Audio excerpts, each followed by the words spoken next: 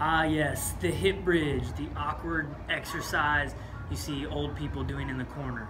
Um, don't skip the hip bridges. The hip bridge is a great exercise for our low back, our glutes, and our hamstrings, right? So you're doing them in the comfort of your own home. It's cool. If you're doing them at the gym, the most important part on your hip bridge is to try to make awkward eye contact with somebody and maybe squeeze a wink in there. All right? So, um, with the hip bridge, we want to hold the hip bridge at the top for two seconds. We bring it to the top, squeeze your butt cheeks, hold for two seconds, and back down.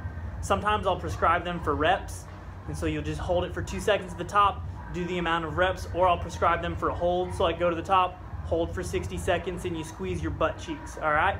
Also, we'll now prescribe them one-legged, right? This is a great way to work on muscular imbalances.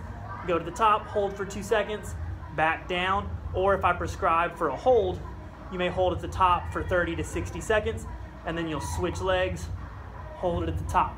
If you're like me and have one leg stronger than the other, you know, for me, my right leg's a little bit stronger than my left. So if we're doing sets of 10, I'll do 10 on my right, 11 on my left to try to work out some of those imbalances.